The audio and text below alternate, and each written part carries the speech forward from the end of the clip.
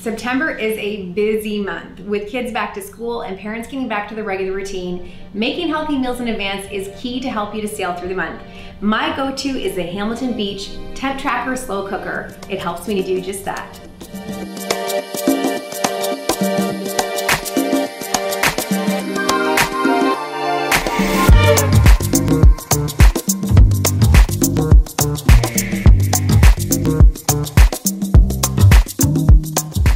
My favorite recipes is my chicken burrito bowl. Everyone agrees on the protein and you can customize your dinner the way you like. Our first ingredient is chicken. So I add both dark meat, chicken thighs, and chicken breast. And I make it with a lot of chicken because I want leftovers the next day for chicken sandwiches or maybe for my lunch back to work. It's really great to have that extra amount of protein.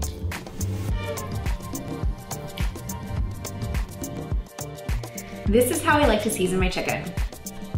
One teaspoon of salt. A little bit of onion powder. A teaspoon of chili powder. And a little bit of cumin. Two teaspoons of oregano. Some green onion. And four cloves of garlic. I'm always trying to boost the nutrition in my recipes, so I've added some tomatoes and some peppers. And I finish it off with some tomato sauce.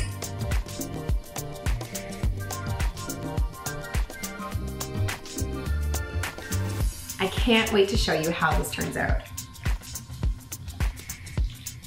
What I love about the slow cooker is that you can set the temperature and track it along the way. I'm going to set it to high for two and a half hours.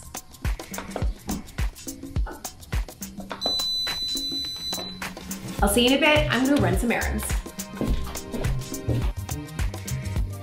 Our chicken burrito bowl has been cooking in slow cooker for about two and a half to three hours on high. Let's take a look. Oh, it smells so good. In September, it's back to school and back to work, and you know everyone's going to love this recipe because they can customize it and make it their own. In my home, my boys love to heap on the brown rice where I will have romaine lettuce as a base. I also like a lot of black beans and I'll put a couple here and there. Avocado is my go-to, whereas they love to have orange peppers. It's a great way to customize your bowl, get creative, be together as a family, and make meal prep much easier. For full recipe details, go to our blog at hamiltonbeach.ca. I'm Miranda Malisani, and this is Make It with Hamilton Beach. See you next time.